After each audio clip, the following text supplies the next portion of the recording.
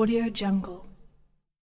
खबर रायबरेली सलोन से जहाँ स्वर्गीय ब्रजपाल पासी पूर्व चीफ कमिश्नर इनकम टैक्स की पत्नी कमला देवी पासी ने उप चुनाव में जीत दर्ज की है। ब्रजलाल छतोह ब्लॉक से टीडीसी का चुनाव लड़े थे, लेकिन चुनाव परिणाम आने से पहले उनकी मृत्यु हो गई थी। उस सीट पर दोबारा चुनाव कराया गया। उपचुनाव ब्रजलाल पासी की पत्नी कमला देवी ने लड़ा था और आज परिणाम आया है। कमला देवी पत्नी ब्रजलाल पासी ने जीत दर्ज की।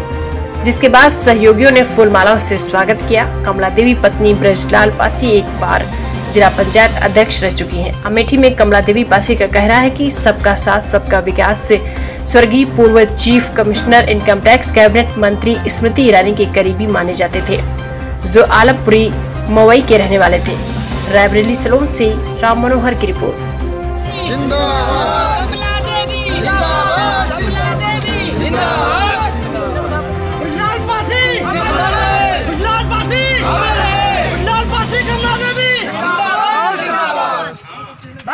जय। श्री राम जय श्री राम जय जय श्री राम